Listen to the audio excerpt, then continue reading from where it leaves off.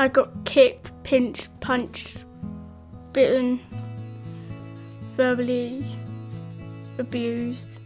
When I was bullied at primary school, um, it was a not very obvious type of bullying, and uh, it was just where I was being excluded.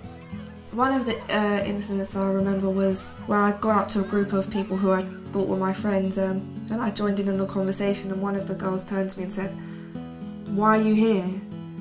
And I said, well, what, what do you mean, why am I here? And she said, don't stand here, you're not welcome. If you're a parent and you find out your small child's being bullied, you're just devastated. You, you know, we all want our children to be popular and have friends, and the fact that they might be picked on, somebody else might not like them, is devastating to parents. I felt sick. I felt guilty. I felt like I'd lost control of looking after my child.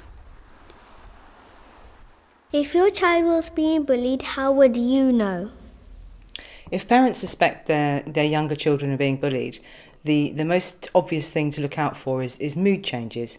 Um, often kids that are being bullied um, get withdrawn, they get upset, um, they might be saying that they're, they're feeling sick and they don't want to go to school. They change their mood, so you'll notice as a parent if something's up with them.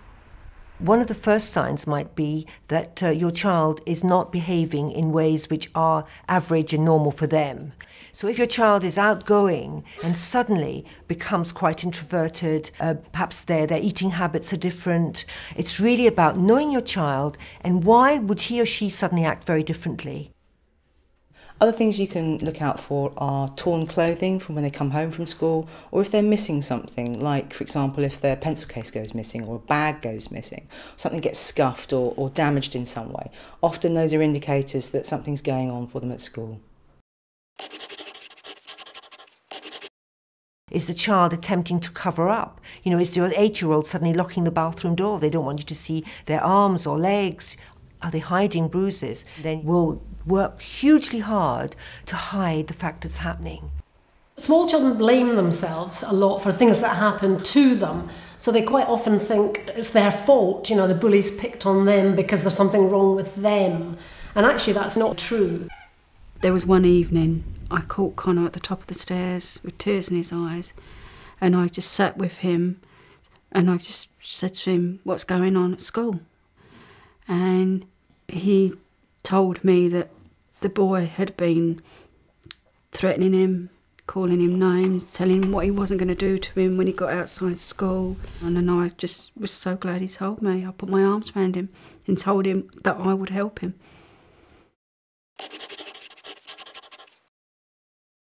One of the main things is for, for you is for a parent to listen to their child and not to be sort of immediately talking at them or um, almost leaking one's pain and it becomes about you and not the child believing them absolutely believing them because many victims of abuse generally fear not being believed and also letting them know that, that now there will be solutions that the family and the school and other adults perhaps that need to be involved will work together to solve the problem.